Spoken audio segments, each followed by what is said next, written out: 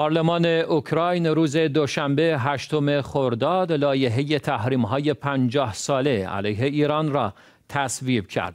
ولادیمیر زلنسکی رئیس جمهور اوکراین پیشنویس این لایحه را به پارلمان این کشور ارائه کرده بود.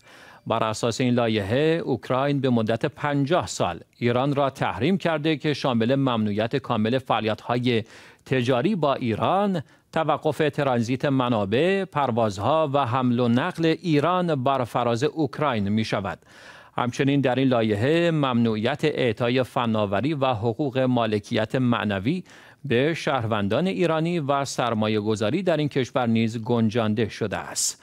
اوکراین همواره ایران را بر ارسال مهمات و پهبادها به روسیه متهم کرده است ادعایی که ایران آن را رد می کند رئیس جمهور اوکراین چهار روز پیش در یک سخنرانی حکومت ایران را به تجدید نظر در ارسال پهبادهای مرگبار به روسیه دعوت کرد.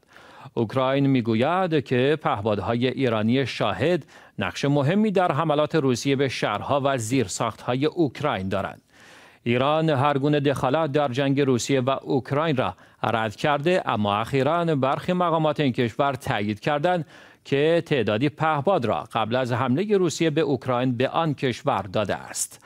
دولت اوکراین در ماه سپتامبر 2022 سال گذشته نیز در واکنش به استفاده روسیه از پهپادهای ایرانی اعتبارنامه منوچهر مرادی سفیر ایران در کیف را لغو کرد و گفت شمار کارکنان دیپلماتیک سفارت ایران را محدود می کند.